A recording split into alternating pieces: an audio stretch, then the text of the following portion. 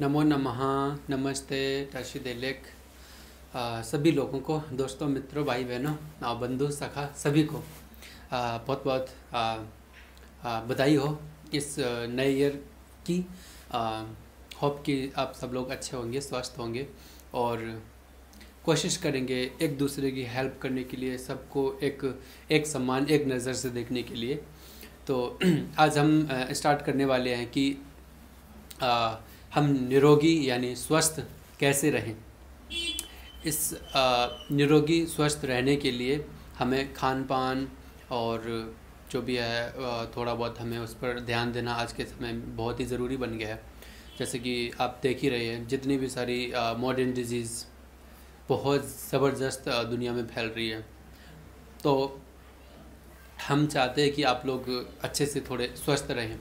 मैं ज़्यादा ना सिखा सकूँ ज़्यादा ना बता सकूँ पर कुछ एक एक पॉइंट अगर दिन में एक एक पॉइंट भी आप लोगों को कुछ मिलता है तो मेरे ख्याल से वो भी बहुत ही है। ना से तो हाँ ही काफ़ी है।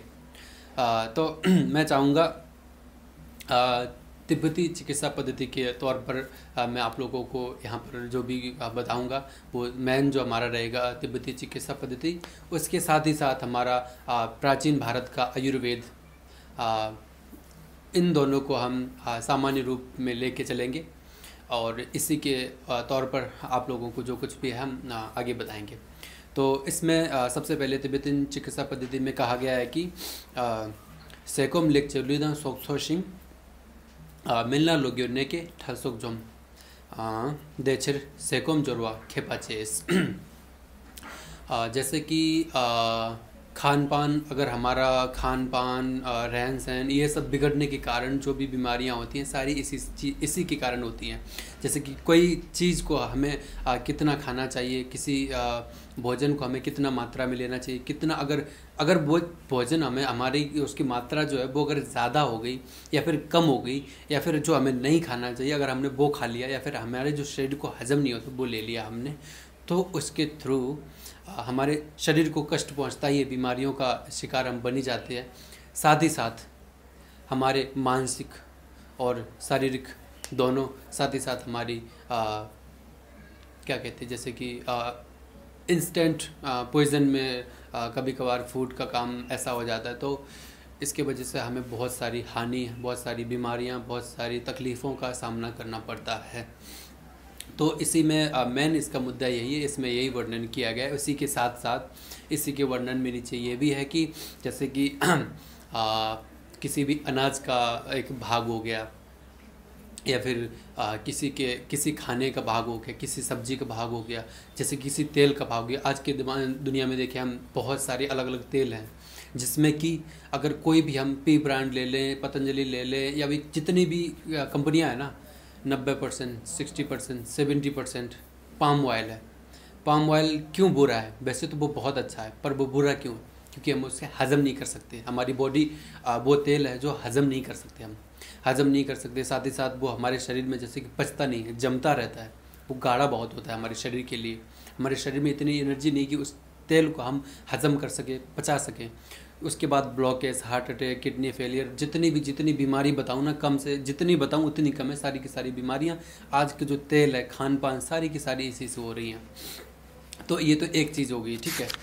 तो मैं अभी आपको बता दूँ उसके बाद जैसे कि हम आ, हमारे जैसे कि हम बचपन से हमारा जब शरीर बना था जब हम छोटा सा नवजात शिशु जब पनपता है, वो सबसे पहले उसके, उसे दूध की ज़रूरत होती है।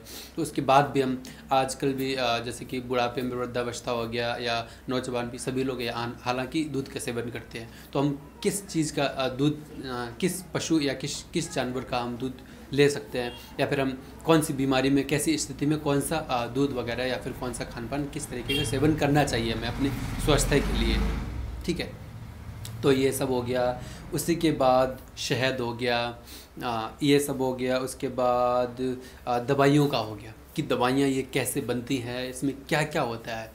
जैसे कि आजकल हम देखें एलोपैथिक तो बहुत ज़्यादा है। मैं एलोपैथिक को बुरा नहीं कहता हूँ क्योंकि आ, ये एक अच्छा एक स्रोत बना है कि एलोपैथिक की हमें एमरजेंसी में तत्काल में हमें वो एकदम बहुत ही सहायता करता है। किसी भी रोग से या किसी भी तकलीफ़ से इंस्टेंट रिलीफ दिलाता है। वो एक बहुत ही अच्छा है आ, पर इसमें आपको कहाँ कौन सी बीमारी में आयुर्वेद के ऊपर जाना चाहिए या टिबिटन मेडिसिन के ऊपर जाना चाहिए यानी कि हर्बल मेडिसिन के ऊपर जाना चाहिए और कौन सी स्थिति में आपको एलोपैथी के पास जाना चाहिए ये आपको जानना बहुत ही ज़रूरी है।